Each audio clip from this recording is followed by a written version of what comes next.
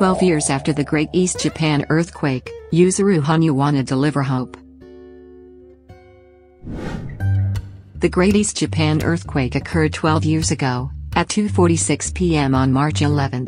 Hanyu, who was in his first year at Tohoku High School at the time, was hit by the disaster at his training base ice rink Sendai. He lived in an evacuation center with his family members. The ice show Hanyu Yuzuru Notte Stellata, chaired by himself, was held from 10th to 12th in his hometown of Miyagi.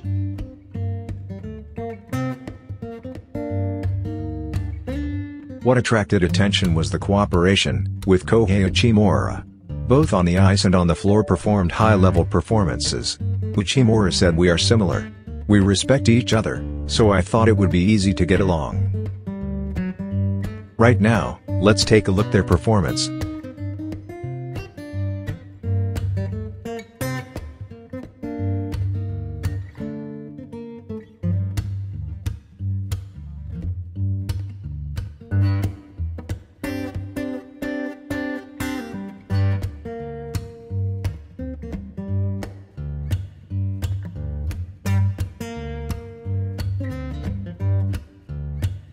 Hanyu said I am very nervous as I skate in front of everyone.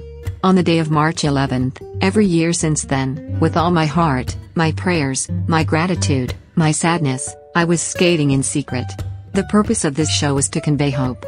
It would be great if this Notte Stellata program, something like a star, could deliver even a little bit of hope in this difficult time.